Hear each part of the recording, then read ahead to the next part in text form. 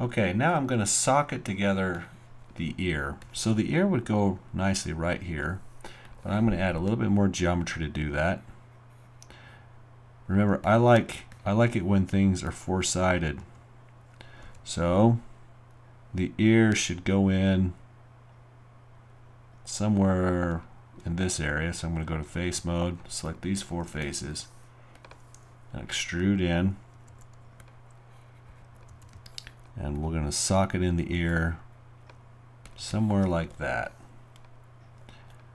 Do some sculpture so we can blend it in.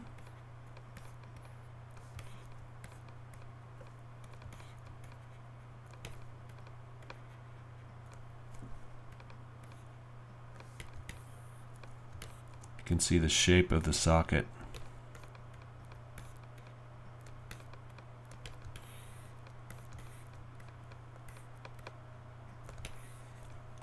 Now you can either extrude the ear or build it out separately. I'm going to choose to build it out separately. I'm going to hold V and snap in a cube right here. I'm going to build it straight.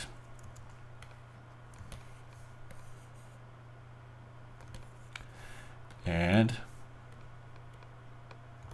insert an edge loop.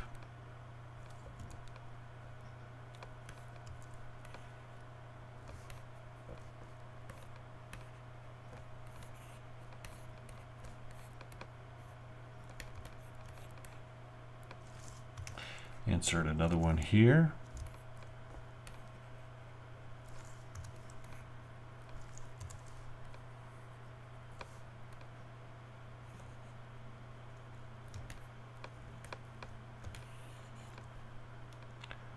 Okay, and I'm going to pull this ear back. Give it some shape, like so.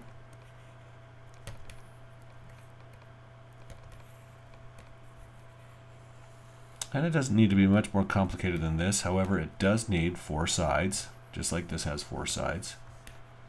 So I'm going to get my tool here, my insert edge loop tool. Now I have my four sides I like. And I'm going to take these verts, scale them down.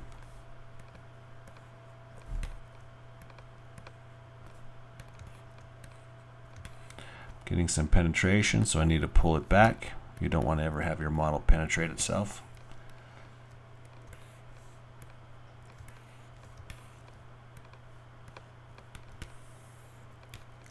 Okay, now I'm going to go to object mode and I'm going to hit D and V and move it center point to here and I'm going to hold the V key and I'm going to move the ear about where I think it should be on the pig and rotate it about 45 degrees.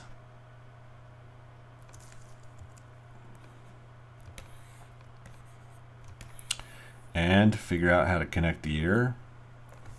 My shapes are a little different. So what's nice is because it's a socket and it's four-sided, I can manipulate it a little bit more. So I'm going to go to vertex mode this down.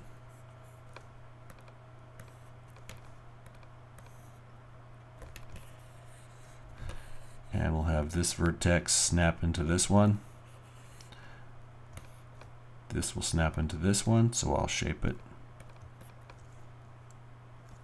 Sometimes what you want to do is go to your objects and select um, edit mesh and combine and you want to work with them together so then I, I can go to vert mode, select these two vertices and hit R, and hitting R I can scale them together like so. Before I go any further, I'm going to want to delete the faces on the interior of the ear and the faces on the interior here of the head where the ear is going to connect.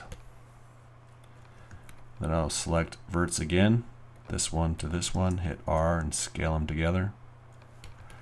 I'm going to leave them a little bit far apart because I still have to merge them.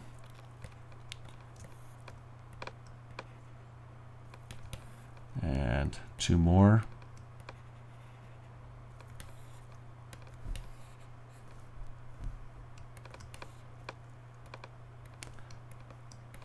More than two. Three more.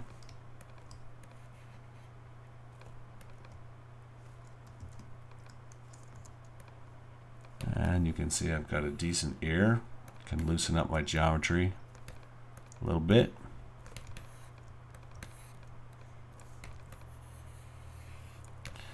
And that looks like it's just about ready to connect. So now I'll go to the merge edge tool and repeat my process using the merge edge tool.